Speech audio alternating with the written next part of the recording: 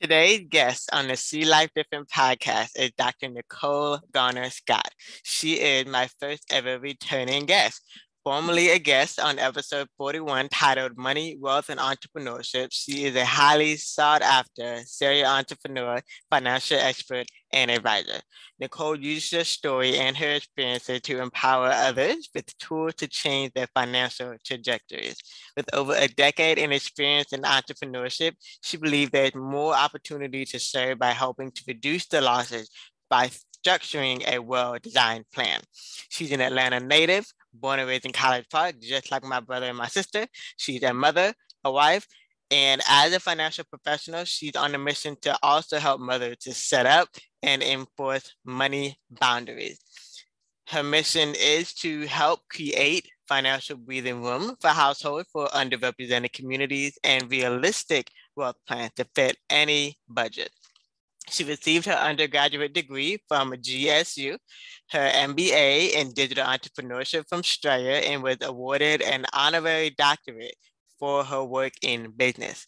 She is also a recipient of the Mayoral Phoenix Award, which is the highest award bestowed in the city of Atlanta. Currently, Nicole has aligned her financial practice with Northwestern Mutual through the Money Plan. So we're going to talk about her unique approach in helping to build financial security and holistic conversations about money. Welcome, Nicole. Thank you. I'm so glad to be back. I'm so glad that you're continuously um, providing such amazing content in this space and very excited to be here.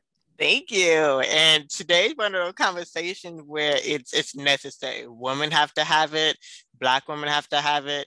And I feel like what better person than to have this conversation about uh, money and wealth and just financial legacy. Thank you. Thank you. It's um it's it's something I'm very passionate about. I feel like um, in, in our space, we've normalized a lot of other conversations, right? And I love it. I love to see the growth that we've we've uh, normalized um, mental health, or we're starting to, you know, really get that out there. We've normalized not being a superwoman anymore. Uh, you know, normalize self care, taking time for yourself. Uh, but for some reason, when it comes to financial conversations, that still tends to be somewhat taboo um, because it's, it's personal, right? It, it you feel like it's a reflection of your choices. You feel like it's a reflection of what you have, uh, your belief system, um, the traumas, the financial triggers, whatever it is. You feel like when you sit down and talk about money, it reveals a lot of that, and so we tend to shy away from that conversation um, more than none. And I love just really being on this mission of making sure that we we just remove the mask, we remove any embarrassment. Um, you'd be surprised, you know, you never know what's going on in people's households, and we make it look good on social media, but everyone has questions on in regards to money. Uh, we, we feel like we know it so well because we've touched it since we were little, right? You you I mean, from when you were little and your uncle used to give you $20 or from, you know, however, however money entered into your life as a child, you've you've touched touched money and spent money and received money. So you feel like you know money. But when it comes down to how money is utilized as a tool and um, the methods and strategies surrounding money, you know many many people need outside help they need a money team they need an advisor a planner a financial professional to sit down and talk with them and, and someone who's studying this and keeping their eyes on it all the time Yes, and I'm so glad you, you started with that because I feel like that's literally where it starts. It starts when we are little girls of what were we told and not told about money, that financial trauma that comes with money, um, and then the frugality versus you know, living the luxurious of having it. So let's talk about the differences between that that you've observed. I guess it starts in the mind, start with mindset. Um, what is the typical transition process that really can help women to go from uh, living almost too frugal to, you know, living in abundance? So living in abundance is really shifting from scarcity mindset but you have to have that courageous conversation with yourself about being being very honest that you are living in scarcity Um, and I say courageous conversations. There's there's a, a, a book by Brene Brown who's a, an awesome, awesome woman, uh, who just talks about having that honesty talk with yourself, right? Peeling back those those layers of the onion and really before you expect anyone else to be honest with you you you having to be honest with yourself um, but many of us have uh, equated scarcity to our our normalcy right so if you grew up in a very very frugal home then that just became the way, right? You, you're trying to beat every price out there. Um, when something is discounted at a rate, you're grabbing it whether you need it or not, because who knows, you might need it in the future. And when you need it, you might not be able to afford it. Um, you're you're making choices based upon what is the cheapest opportunity to bring this item into your life um, and I grew up that way, very, very frugal, um, you know, and, and that became my way of, of normalcy until I started realizing that I was um, um, impacting quality of life, right? And on the on the reverse end, you're overspending for those things anyway, right? So when you get a very inexpensive car and it's a lemon, by the time it's all said and done, by the time you've broken down, by the time you've replaced this transmission and got new brakes and such and such, you might as well have gotten a new car, right? And it, it takes you going through that a few times, sometimes to wake up and be like, this could have been money well spent somewhere else. Um, the, the amount of peace that I've lost, the, the quality of life that I sacrificed living in scarcity has hasn't served me. And um, you know i got to a, a, place in my life where i realized this this way of being just no longer served me in, in, in my life. And so um, i had to let go of a lot of that scarcity mindset. But also too education plays a big role. And i don't and by all means i love school I, I won't debate anybody on if college is for you if it's not for you we all have our own different opinions on that but I'm talking about financial education, right? There's there's a lot of information that was purposely kept from our communities, right? It was per, you know, women couldn't even open up their own bank accounts until a few decades ago. Like it, it, it wasn't. Uh, I I think a lot of us forget how new this is. You know, I, I see a lot of memes that shun, you know, older generations but they didn't even have some of these rights. Like some of our grandparents or great grandparents couldn't even go out and, and purchase property. They couldn't go out and open up their bank account without a man signing off on that. They couldn't, you know, do a lot of things that we can financially do now without there being a man there to do that. So, um, you know, so some, a lot of these things are were purposely kept information was purposely kept. And that's when you have to decide that you want to go out and seek the people around you that know that information, that want to make sure you're well empowered with that information, and taking that information and using it to make very viable decisions in regards to things. Um, YouTube is great, but YouTube can only get you so far. Google is great, but Google can only get you so far, you know? And so that's when you have to get with people that really understand um, financial strategy. And I'm so glad you mentioned, um, you know, just how far, semi far we've come, at least when it comes to property, because I agree. I've, I saw some memes and jokes around about um, don't don't sell your grandmama's house. You know, mm-hmm. like some people are also debating, especially you know where we are in this pandemic of like, uh, renting is, is better, renting is better. So what is your take on that? On what uh, what route really people should go when it comes to the value of real estate? So this is what I, I sincerely believe. You have to look at your own scenario and um, really customize a plan that meets yours, right? Because a lot of people are getting into real estate investment, but they have emergency uh, emergency funds that are fully funded that are in place. They have other parts of their portfolio that can withstand them making riskier choices. They have, um, you know, secure revenue fees coming in. And then you have someone else that follows that same advice, and that was their last dollar. right? Like they put it all into real estate because everyone said real estate is the move. That was their last dollar. Um, that real estate investment was not a good investment. And they pretty much wiped out everything behind them. And so I think that's where, while I love social media and I love information, many times when people ask me blanket information, I'm like, hey, DM me, call me, let's set up a meeting and let me assess everything that's going on with you right now so that we make strong decisions. Because I might say, hey, hold off and get your emergency fund in place. Like, make sure that should anything else happen, because life happens, right? Like, you can be making all these great real estate moves. You can be, you know, investments can be going crazy. There's no, there's no uh, cushion for you. Something happens in life and then now you have to take all your gains that you just got from your investments and use them to pay for this emergency.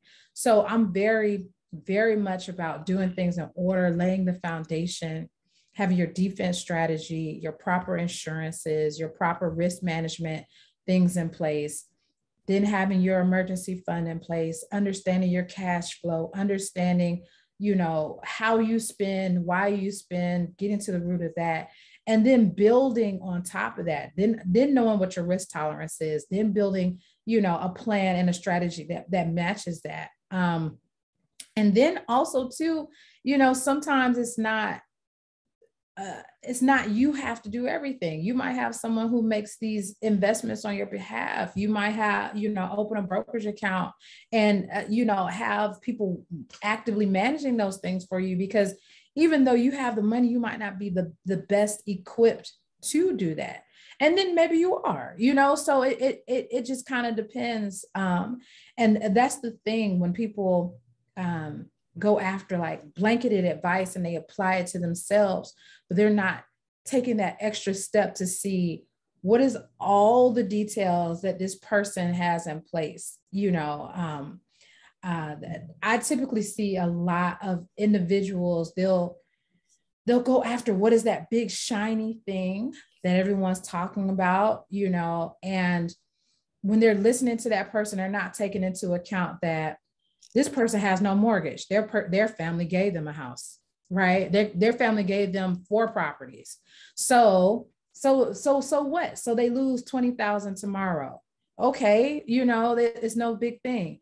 You lose 20,000 tomorrow and you're ready to sue somebody because how what are you going to do to be able to bounce back? So um, you know, doing a little due diligence in regards to that, and then really understanding that rich and wealth, they don't they don't really have a look, right? So so a lot of us tend to gravitate and follow what we feel like looks rich or what we feel like looks wealthy. And um, it's interesting. I, I, was talking to a group of middle schoolers the other day, and I said, "What is um, what is what does rich mean to you guys? What does wealthy mean to you guys?" And they, you know, they were all throwing out.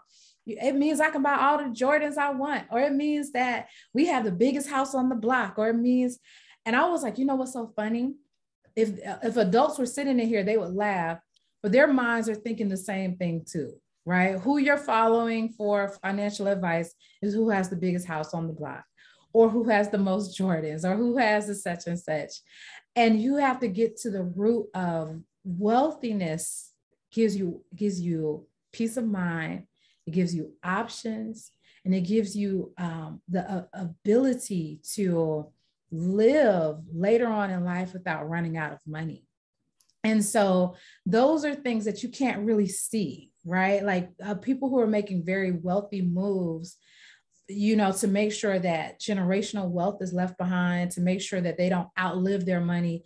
You can't see that per se on social media. You can't see that visually, but it's being done. And so you have to kind of redefine in your mind what is wealth or you sound like the group of middle schoolers I was talking to the other day. It might not be as like oh, I get all the pink Jordans. It might not come out like that, but if you really sit down and think about it, it still sounds somewhat like that of who you're seeking your advice from. You know, it's many times people will be like, oh wow, like you take advice from her. You know, she I haven't seen her on a yacht. I haven't seen, and it's it's like, you know, it's like that's that's that can't be what we we determine to be wealth. You know, like wealth is is is uh, an opportunity for you to be able to control the controllables. You know, mm-hmm. and um, that's something that that's very important to me. Yes, I'm so glad you brought up that example because I was watching an interview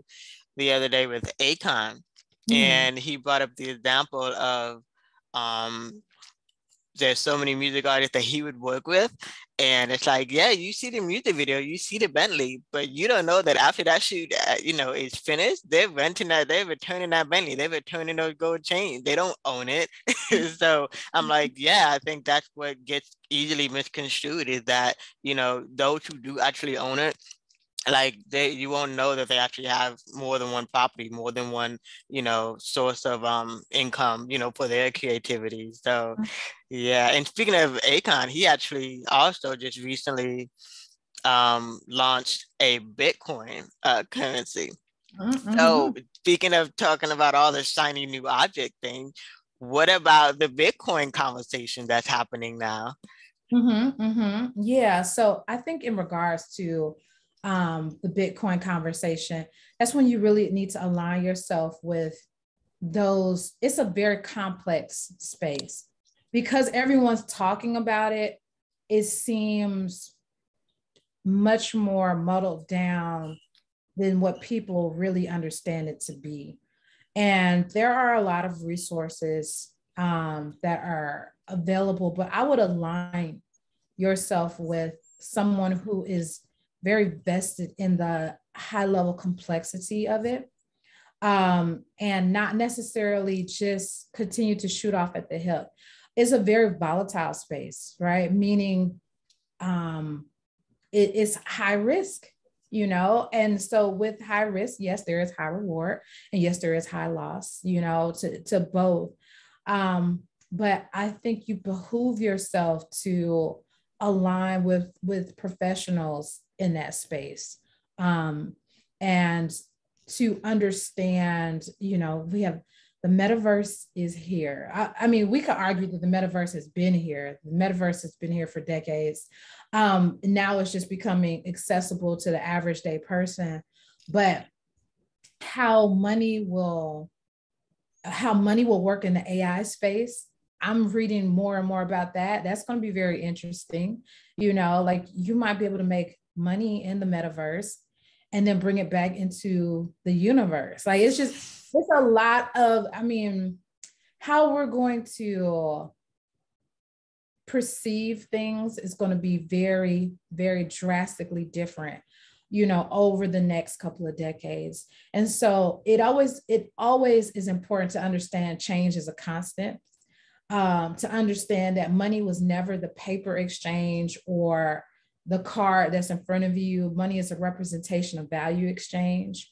Um, and once you once your mind wraps around that concept, then you really understand money, right? It's never it's never the what's sitting in per, purposely in your bank account, but what does that afford you? What is the value exchange? What is the value proposition that that's aligned with?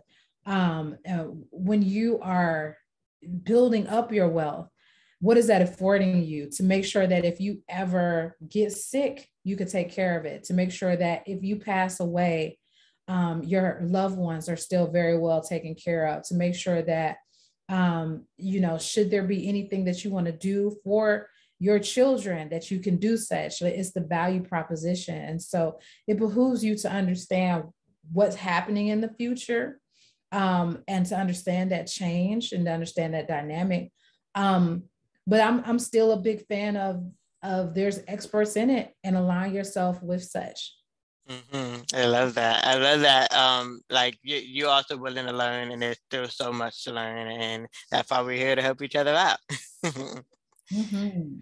Now we're coming to the end of the conversation, and so, what are your tips for um, going into the new year, um, having a well-versed financial plan, a financial plan that can be put in place starting today? Yeah, yeah, definitely. Um, I like to say a plan for your money is a plan for your life, right? And when you have a good plan, um, like especially our, our team, we help you have money and choices during the best times of your life. And then we also help you have money and choices during the worst times of your life. And that's when you really want to have a plan, right? Like it, I mean, by all means, it feels good when everything is working well and everything's well oiled. But when things start to bottom out and you have that plan in place, then you know it's just it's just getting through the emotional side of it, but you can trust the strategy in place. Um, so I would definitely say one, um, finding, you know, finding a good financial professional with a teacher spirit, you know, someone that understands uh, that there is a, a financial information gap.